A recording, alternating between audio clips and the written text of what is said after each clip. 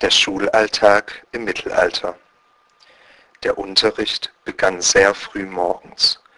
Um das Tageslicht auszunutzen, kamen die Schüler von Sonnenauf bis Sonnenuntergang zur Schule. Im Sommer dauerte der Unterricht von 5 Uhr morgens bis 5 Uhr abends.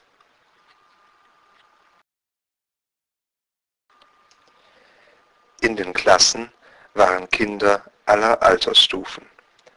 Die Älteren halfen den jüngeren Schülern.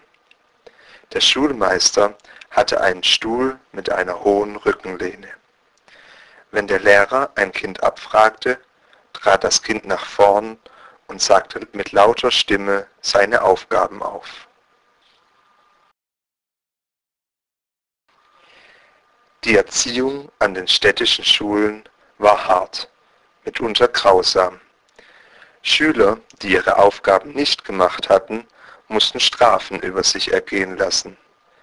Im Mittelalter glaubten die Menschen, dass sich die Schläge positiv auf die Schüler auswirken. Bücher waren im Mittelalter sehr teuer, da sie von Hand geschrieben werden mussten. Ein Buch war im Mittelalter so viel wert wie heute ein kleines Auto.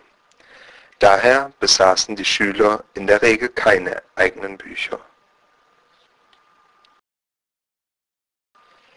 Im Mittelalter gab es noch kein Papier, so wie wir es heute kennen.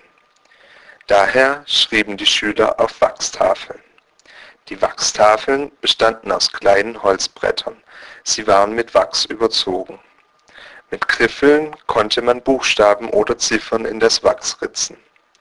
Mit der flachen Seite des Griffels konnte die Wachstafel wieder geglättet werden, so dass sie neu beschriftet werden konnte. Die Schule war meist schlecht beheizt und nur unzureichend beleuchtet. Häufig mussten die Schüler Holz zum Unterricht mitbringen, damit der Klassenraum ein wenig beheizt werden konnte. Weil das Tageslicht, welches durch das Fenster in den Klassenraum fiel, nicht ausreichte, wurden Öllampen verwendet.